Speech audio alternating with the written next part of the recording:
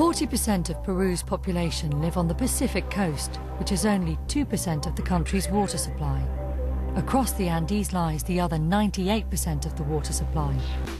In the future, we think that in 20, 30 years, about 50% of the population in Peru will be living in the coast, and that will be a complicated situation, very complicated situation.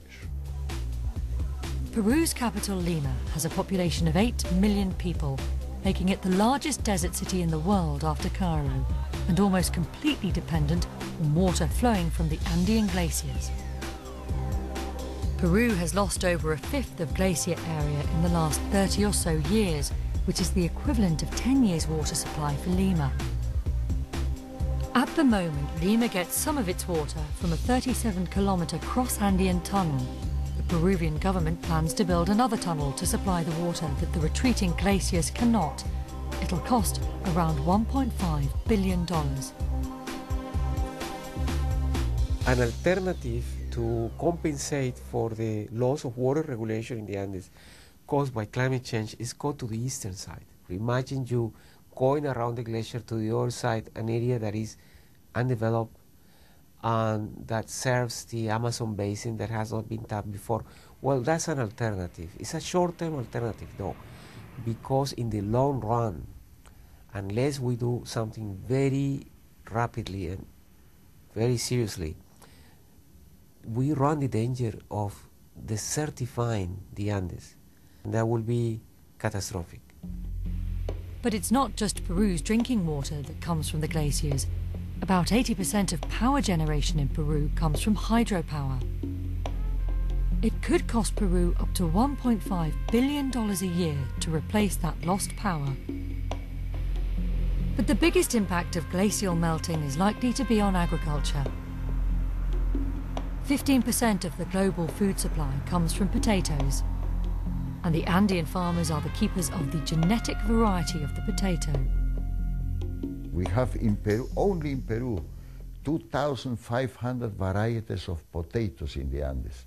If the climate change will change or impact to these genetic resources, the humanity will lose a lot of possibilities in the future. donde estamos trabajando actualmente in the Altiplano, there are communities that are vulnerable already to climatic conditions. If these conditions are subject to new problems, like for example drought, frankly the economic impact is extremely high for these families.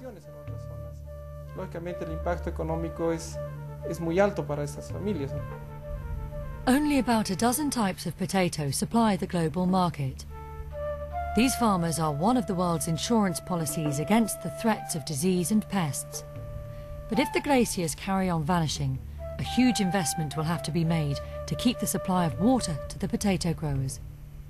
Today you have an open channel where you collect water that is graciously provided by these uh, glaciers.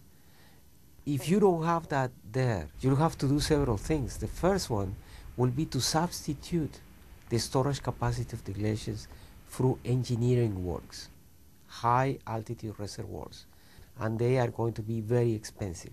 It costs of the order of $1 million to ensure a one cubic meter per hour runoff. One of those farmers who rely on the runoffs is Santusa Signani. In her 76 years in the Altiplano, she's seen many changes, but over the last 10 years, she says she's noticed a substantial difference in the weather. The sun is much stronger. Before it wasn't like this. It's now much stronger and it's much hotter. The rains come, but the sun dries them up very quickly. I can tell that the sun is a lot hotter. But the Andes do have an economic asset that's not immediately apparent. A multitude of different types of plants in addition to the potato that can survive in difficult conditions. Peru's Minister for Environment believes these could be worth a great deal of money as agribusiness searches for new species to cope with changed growing conditions.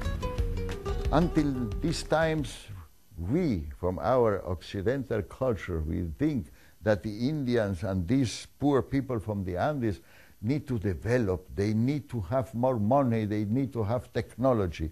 Now we understand that they have preserved thousands of vari varieties of potatoes, of corn. They have preserved very good systems, ecological systems, to preserve the soil and have a natural production. And I think this lesson we need to preserve and learn from these people. ¿Cómo le explicamos a una persona occidental How do we explain to somebody from the West the meaning of Pachamama and why we assume that the earth is our mother? I think it's a fundamental difference in our culture. Here in the Andes, life has been much more difficult, nature much harder to dominate, so perhaps this is one of the reasons why we believe that nature is our mother, that loves us, but can also punish us if we misbehave. And for that reason, we've learned to love her and not to exploit her. So how much could climate change cost the Andean countries? Well, according to a major study commissioned by the Andean Community of Nations, $30 billion a year by 2025, almost 5% of the country's combined GDP today. This may not sound a lot, but the poorest people are on the front line when nature systems are damaged, and they take the economic brunt of it. So what are the possible solutions? Man-made climate change is new, but changing long-term weather patterns in this region is not. Indigenous societies have adapted and will have to do so again. The World Bank is providing finance for a series of measures designed to make the best of the changes. The countries in the region will be among the first to implement pilot adaptation measures. And with that implementation will come a lot of knowledge. How much does it cost? What are the benefits? How to do it better? So they will be in a position to provide also experience and lessons learned to the entire planet. Another way to generate that cash could be by using the country's natural capital, trees. We know that in Europe, people have a real appreciation for biodiversity and protecting forests. We know that from the point of view of climate change, that in Peru, 50% of emissions come from deforestation. So we think we can cooperate. They can help us on the side of deforestation with carbon credits, and in that way we would have enough money so that people could devote themselves to looking after the forests and not using it in any other way. Some analysts believe that this could net a country like Bolivia up to $1 billion a year. That's around a 10% increase in GDP. Sir Nicholas Stern nos habla de que el costo social de lo que Sir Nicholas Stern tells us that the social cost of CO2 is around $85 a tonne. But nevertheless, in the eh, marketplace, the eh, price paid for credits is a lot lower. Latin America could aggregate credits in large quantities from industry, agriculture, and preventing deforestation and could generate billions of dollars in that way. Sobre todo en prevenir la deforestación que aqueja a varios de los países de nuestra región. Estamos hablando del orden de decenas de miles de millones de dólares.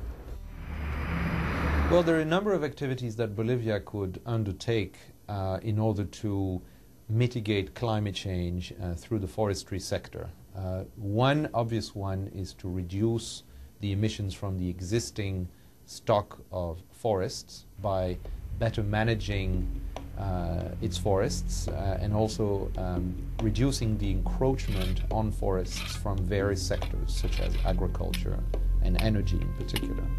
The other thing that Bolivia could do is uh, in fact increase the forest area in particular by reforesting areas that were previously under forest but were cut over the uh, course of time that is called reforestation or afforestation, depending on how many years the land has been without trees. So, who are the people with a vision to keep nature in working order? In each episode of Nature Inc., the end note goes to the visionaries. This week, we hear from the former Secretary General of the United Nations.